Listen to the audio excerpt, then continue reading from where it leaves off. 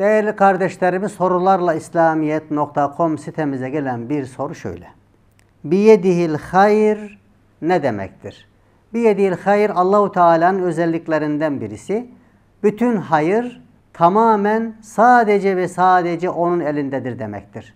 Çünkü biyedihi başa geldiği için onun elindedir el hayır bütün hayırlar. Bunun e, özetle manasını söylemek gerekirse Allahu Teala bize ihsan ettiği bütün hayırların sahibi odur. Bütün güzelliklerin sahibi odur. Öyleyse yaptığımız bütün hayırlar asla zayi olmuyor. Boşa gitmiyor. Sadece dünyada gördüğümüz güzellikleri ve özellikleri dikkate alarak onların geçici olduğunu zannetmeyelim.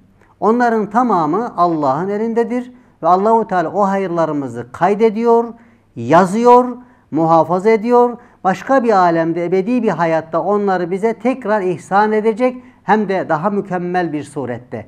E sonra yaptığınız ameller, işlediğiniz işler her neyse çalışmalarınız, gayretleriniz Allah için o Zat-ı Zülcelal için yaptığınız her şey, hatta dünyevi zannettiğiniz çalışmalarınız, uğraşlarınız bile, ders çalışmalarınız, iş yerinde çalışmalarınız, insanlara yaptığınız yardımlar, ikramlar, izzetler, her neyse uyumanız bile, e sadece namaz kılmanız değil, uyumanız bile kurallarına uymak şartıyla inşallah, namazlarımızı kılmak şartıyla onların bütün amellerimiz, bütün hayırlar Allah'ın elindedir.